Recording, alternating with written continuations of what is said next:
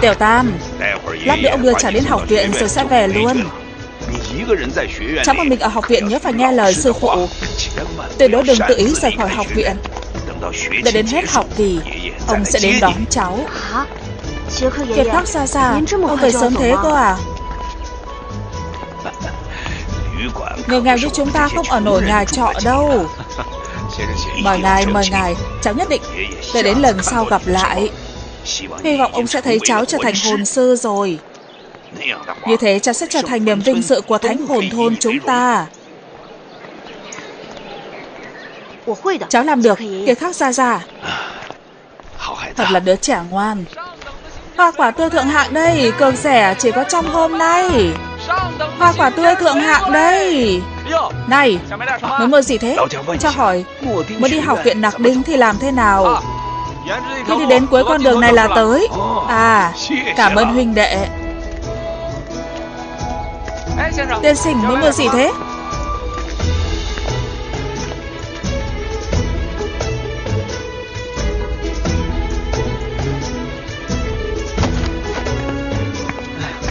Yên tâm đi. Lần trước không phải đã nói với nàng rồi sao? Xem này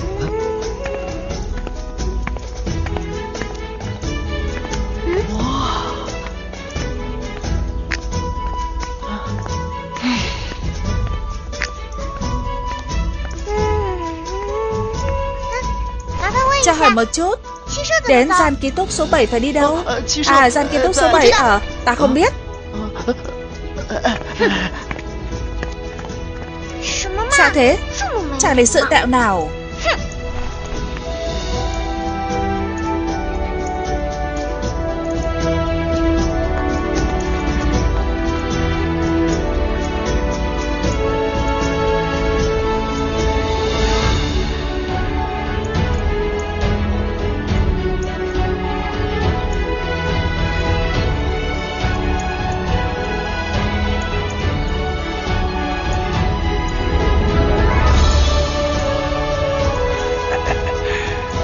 Đi thôi.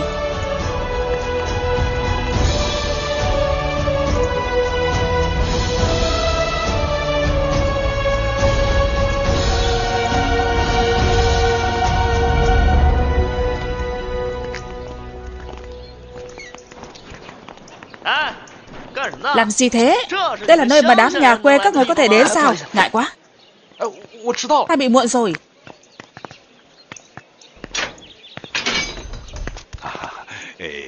Vị huynh đệ này, chúng ta đến từ Thánh Hồn Thôn. Đứa bé này chính là người đến học theo suất học năm nay của thôn ta. Huynh đệ, chúng ta phải làm thủ tục gì nhỉ? Nhà cỏ còn sinh ra được Phượng Hoàng hay sao? Một cái thôn bé xíu thôi, cũng có người có được hồn lực. Học viện đã lâu lắm rồi không có học sinh có suất học. Con người không phải giả mạo đấy chứ? Đây là giấy chứng nhận từ chấp sự Tố Vân Đào của Vũ Hồn Điện. Vũ hồn Lam Ngân Thảo. Còn tiên thiên mãn hồn lực. Buồn cười thật. Thật là buồn cười.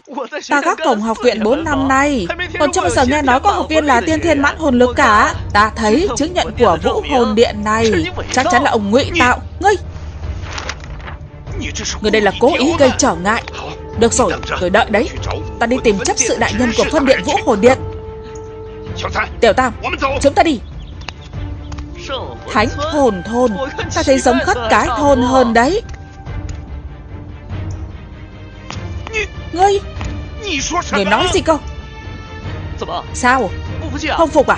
Ta nói các ngươi đến từ khất cái thôn có gì sai hả? Trong cái vẻ nghèo túng của các ngươi kìa. Cái mùi quen mùa toát ra sắp ngạt chết người khác. Muốn ăn xin thì cút đi chỗ khác. Học viện Mạc linh chúng ta không phải thiện đường. Cút mau, cút mau.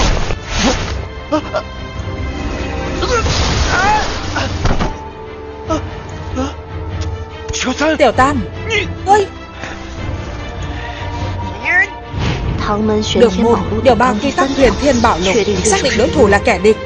Chỉ cần nắm chắc có thể lấy mạng Chứ không cần hạ thủ lưu tình. Nếu không sẽ chỉ kiếm thêm phiền phức cho bản thân.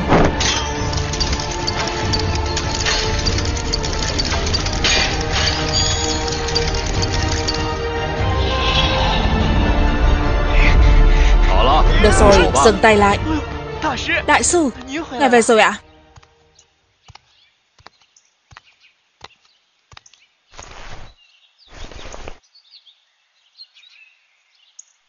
Lão tiên sinh, có thể đưa giấy chứng nhận của Vũ Hồn Điện cho ta xem không?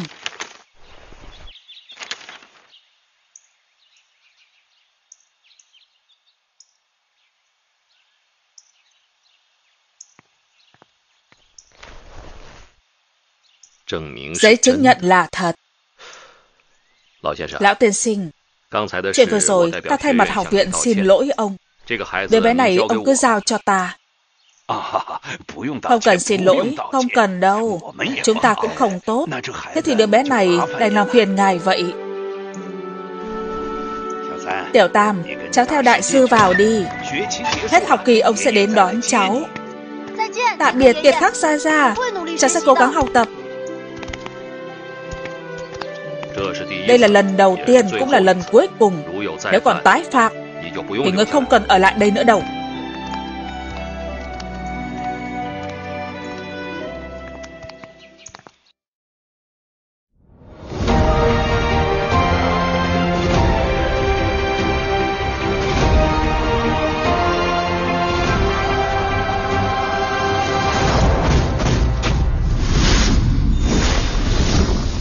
Bộ phim Đấu La Đại Lục do TV2.org thực hiện thuyết minh. Sư phụ, cảm ơn người. Lão sư, ta không phải lão sư của học viện. Không phải là sư phụ. Vừa rồi không phải người nói là thay mặt cho học viện đấy sao? Ai nói cứ phải là sư phụ của học viện mới được thay mặt cho học viện? À, con hiểu rồi. Người chắc chắn là hiệu trưởng của học viện hoặc là lãnh đạo gì đó. Một đứa bé mới 6 tuổi như người cũng thông minh lắm. Chỉ là người vẫn đoán sai rồi. Vậy ngài là... Ta chỉ là một vị khách ăn nhờ ở đậu ở đây thôi. Ngươi cứ gọi ta là đại sư như những người khác là được. Ai cũng gọi ta như vậy. Ta thậm chí còn quên cả tên của mình rồi. Chứng nhận của Vũ Hồn Điện có viết Người tên Đường Tam phải không? Đường Tam, người phải hiểu Đại sư và sư phụ khác biệt rất lớn. Sau này đừng có gọi nhầm. Trừ phi ngươi thật sự muốn ta làm sư phụ của ngươi Ngươi sẽ dạy con tu luyện Vũ Hồn ư? Thế ngươi có muốn học không? Được. Ngươi quả nhiên là đứa bé thông minh. Thiên phú dị bẩm Lại thông minh đến vậy Xem ra, ta cũng phải kiên trì một phen rồi. Dù sao thì ngươi cũng là người thứ ba trong trăm năm nay có song sinh vũ hồn. Đường môn, quy tắc thứ nhất, huyền thiên bảo lục. Tuyệt đối không được để người mà ta không hoàn toàn tin tưởng biết được chính xác thực lực của mình. Có phải ngươi cảm thấy rất kỳ lạ, tại sao ta lại biết ngươi là song sinh vũ hồn đúng không? Chính bởi vì giấy chứng nhận này Ta từng điều tra về 647 người có vũ hồn Lam Ngân Thảo. Trong đó chỉ có 16 người có hồn lực. Trong 16 người này Không có ai có được hồn lực vượt qua cấp 1 Mà ngươi lại là cấp 10 Tiên thiên mãn hồn lực. Theo một điều trong 10 loại lực cạnh tranh chủ yếu Của vũ hồn mà ta nghiên cứu.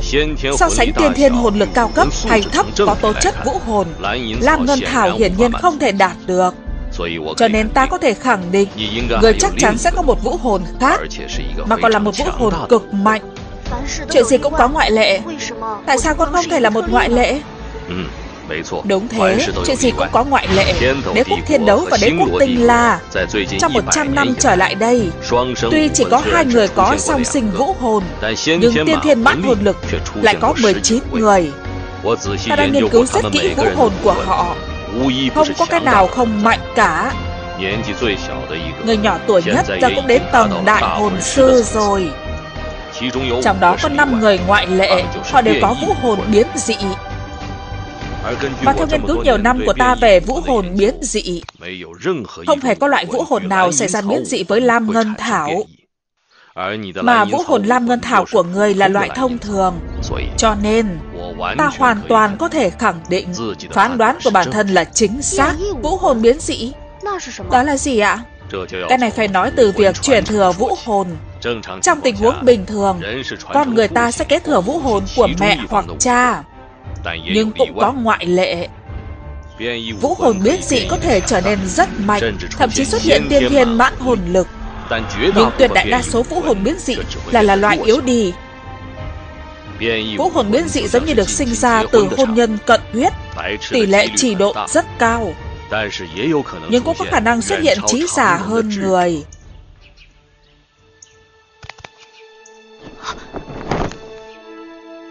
Ngươi làm gì vậy?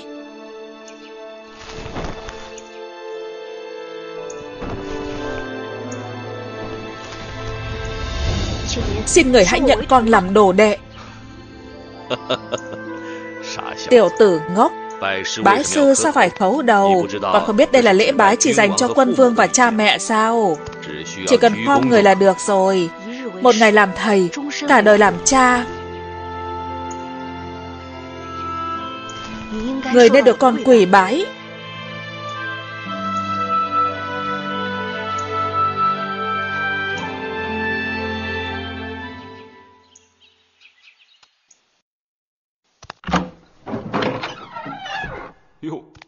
大 sư Khách hiếm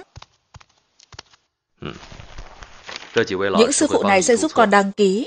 Ta có việc, ta đi trước。Khi về sẽ tìm con sau Tạm biệt sư phụ。Tiểu tử Ngươi gọi đại sư là sư phụ。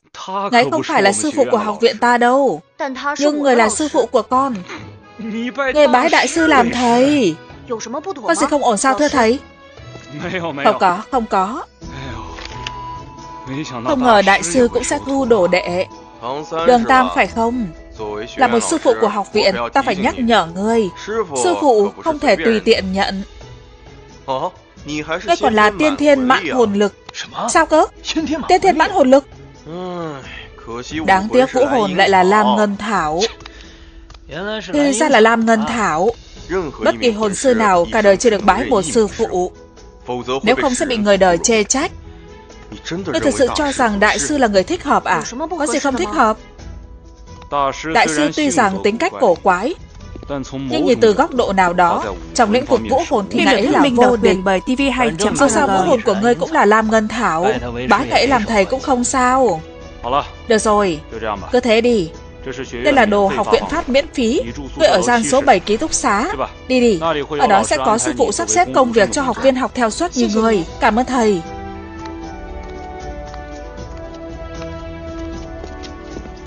Đại sư đúng là vô địch thật. Nhưng cũng chỉ là vô địch trên lý thuyết thôi. Đương nhiên những lý luận đó phải thành hiện thực mới được. Chủ nhiệm, ta nhớ đại sư có nghiên cứu 10 loại lực cạnh tranh chủ yếu của vũ hồn. Hình như là thế.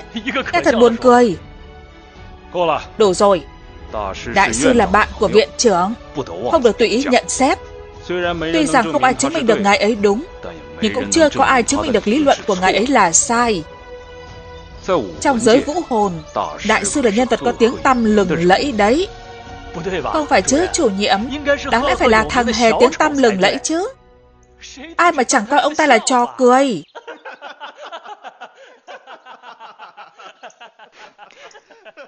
Chỉ cần một tờ chứng nhận đã nhìn ra ta là song sinh vũ hồn, sẽ chỉ là một trò cười thôi sao? Cũng không biết ai mới là trò cười.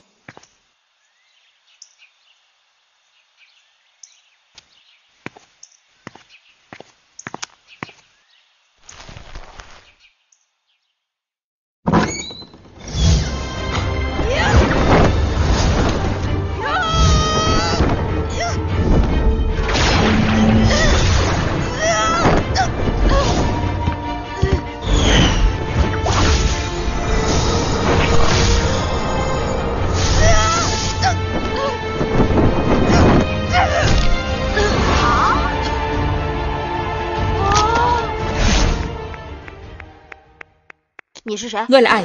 Sao lại tập kích ta? Ta là Vương Thánh, lão đại của gian kế túc này. Cảm ơn ngươi đã thù hạ lưu tình. Theo quy tắc, ngươi đánh bại ta. Sau này sẽ là lão đại của gian kế túc số 7. Lão đại. Ta? Ta tới đây là để học, không muốn làm lão đại đại ca gì đó đâu. Đây là quy tắc. Nắm đấm của ai cứng, thì người đó là lão đại. Đúng, đây là quy tắc. Đúng rồi. Lúc nãy ngươi dùng hồn kỹ đúng không? Hồn kỹ. Đây là gian ký túc số 7 đúng không?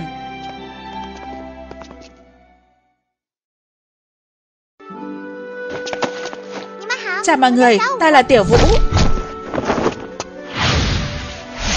Làm lão đại, Chắc sẽ vui lắm. Tiên thiên mãn hồn lực. Rộng quá.